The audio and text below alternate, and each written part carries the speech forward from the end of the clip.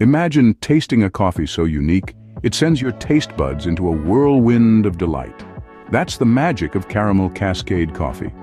This heavenly brew combines the robust essence of coffee with a subtle sweetness of caramel, striking an exquisite balance.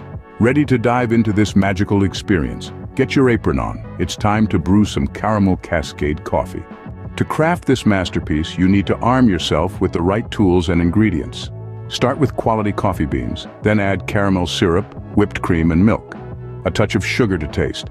And don't forget, a trusty coffee maker or espresso machine is essential. With these ingredients at hand, you're one step closer to savoring the Caramel Cascade coffee. Now, the real magic begins. Start by brewing your coffee. The secret to a robust flavor lies in using quality coffee beans. Grind them freshly to unlock their aroma and flavor. Pour hot water, not boiling over them, and let it steep. With the coffee brewed to perfection, it's time to add that special caramel twist. Now comes the moment you've been waiting for, the creation of the caramel cascade. Begin by swirling caramel syrup into your freshly brewed coffee.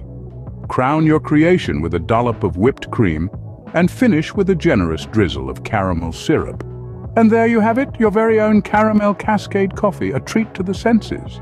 Let's take a quick tour through the journey you've just embarked on. We started by gathering the essential ingredients. Next, we brewed a perfect cup of coffee, the heart of our recipe. Then we added a luxurious layer of caramel, followed by a dollop of whipped cream, creating a cascade effect. Enjoy your Caramel Cascade coffee, a symphony of flavors that will leave you craving for more.